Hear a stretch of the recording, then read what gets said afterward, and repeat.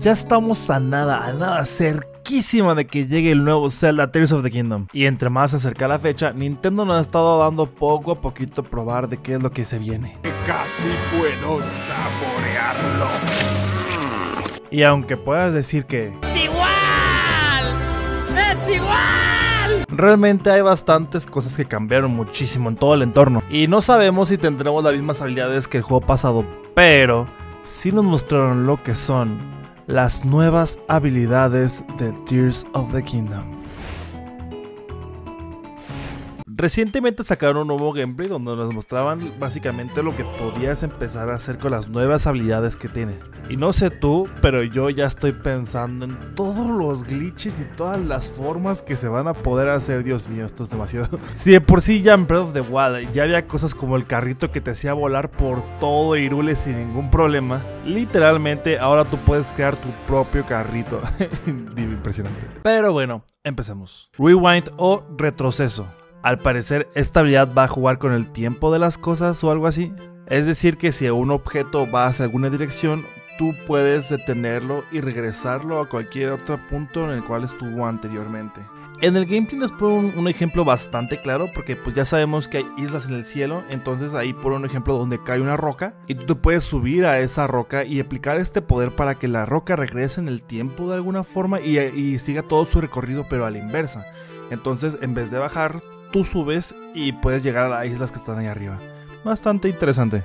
Desconocemos si solo funciona en cierto tipo de objetos, me imagino que sí como en Breath of the Wild, y también desconocemos si se puede usar en enemigos, porque recordemos que cuando mejorábamos la tableta Shake en Breath of the Wild ya podíamos utilizar ciertas habilidades en enemigos, como por ejemplo Éxtasis. Entonces sería interesante ver cómo funcionaría ese poder en algún enemigo, pero pues lo desconocemos. Este es el primer poder. Fuse o combinación. Este poder junto con el siguiente se llama en los que van a romper por completo el juego. Básicamente lo que hace este poder es combinar cualquier arma que tengas con cualquier cosa que haya en el entorno, al parecer. Por un ejemplo bastante claro, donde tiene una rama, que pues obviamente sabemos que la rama se puede usar como arma, pero pues no es no pega mucho y se rompe muy fácil. ¿Qué es lo que hace? Agarra una piedra y la pega, tal cual Simón con la loca y pum. El millón de combinaciones que nos ha dado solamente con explicar este punto, what the fuck. ¿Se podrá combinar absolutamente todo? ¿Qué pasa si combinas un arma de fuego con una de hielo, una de hielo con una de trueno, una de trueno con algo de... No sé, imagínate las combinaciones. Aunque bueno, no mostró ningún arma elemental, entonces desconozco si hay armas elementales en este juego. Pero, ¿qué pasa si combinas una lanza con un aplastarrocas, por ejemplo? ¿Qué pasa? El aplastarrocas se volvería bastante largo y podrías pegar con esa cosa desde lejísimos o simplemente el aplastarrocas le, le saldría un pico grandísimo para que puedas... No sé, o sea, ¿te imaginas la, cantidad de combinaciones que existen? Ah, y no solamente funciona en esto, también funciona con las flechas. Por un ejemplo en el cual utiliza un ojo de un... De un ¿Cómo se llama esta cosa? De un murciélago. Y la flecha va ahí direccionada y pum, se estampa contra un pájaro ahí nomás porque sí. Quiere decir que las combinaciones, dependiendo de qué le pongamos, la flecha va a reaccionar de diferente manera. ¿Qué pasa si lanzamos un bistec, güey? O sea, y también funciona en escudos. Te digo, este poder va a romper muchísimo el juego. Pero definitivamente me tiene muy emocionado. Ultramano o Ultra Hand. ¿Viste el carrito del trailer? Pues bueno, se puede hacer con este poder.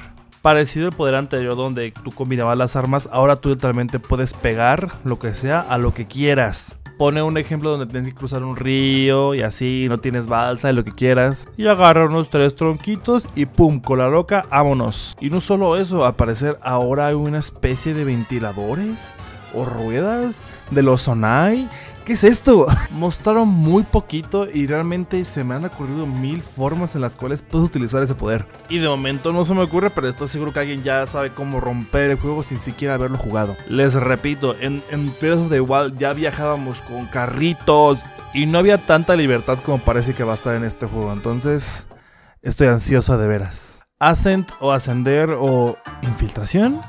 Ok, Realmente creo que este es el poder que menos mostraron o que se me hace menos interesante de momento, pero bastante útil. Porque al parecer vas a poder atravesar cualquier techo de cualquier lugar. Es decir, que por lo que mencionan, mientras exista un techo, tú vas a poder atravesarlo. No importa lo grueso que esté. O sea, no importa si estás hasta abajo de una montaña. Mientras tengas un techo donde poder utilizar este poder, tú vas a poder atravesar la montaña entera. Y me imagino que también te lo pondrán en diferentes situaciones, ¿no? Que estés encerrado o algún tipo de cosas así. Repito, todas las habilidades, esta se me hace la menos interesante, pero sí bastante útil. Porque, por ejemplo, si en vez de escalar toda una montaña puedo llegar hacia el techo bastante rápido, pues, pues, pues lo va a tomar. y ya. En el gameplay también mostraron un poquito de cómo era todo el mundo, pero pues realmente eso ya será para otro video. ¿Qué te pareció el nuevo gameplay? ¿Qué te pareció el nuevo juego? ¿Lo ves diferente? ¿Te está gustando? A mí en lo personal sí me gustan las nuevas habilidades.